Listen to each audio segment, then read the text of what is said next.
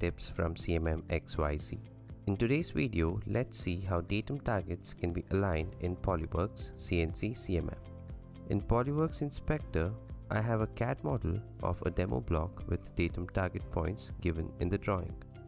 Since reference targets cannot be measured in Polyworks CNC CMM, we can have a workaround to measure these points and define those points as datums.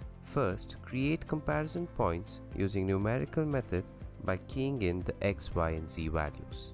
Go to comparison points icon and choose create surface comparison points. In method, choose numerically and key in the x, y and z value for all 6 points. Here I've created 6 comparison points at the given targets. After creating comparison points, we can link the reference targets points to the created comparison points. Go to reference target points icon and select create surface reference target points. In the dialog box, select method as from objects and check mark on selected comparison points. For alignment direction, choose point normal. Then go to the tree view tab and select all the created comparison points. Go to dialog zone tab and click on create to create reference target points.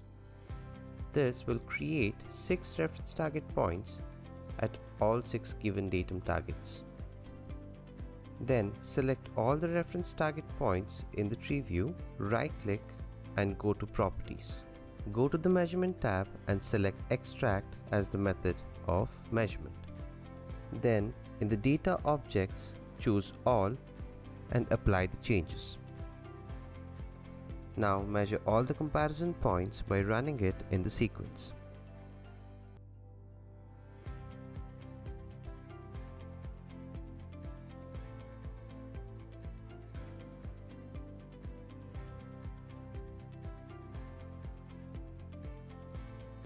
Since comparison points are linked to reference targets, we can extract the measured value from the created targets.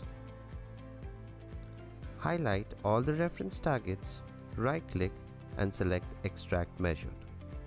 Now we have a measured reference targets which can be labeled as datums. Next, we can define the datum targets as datums in the tree view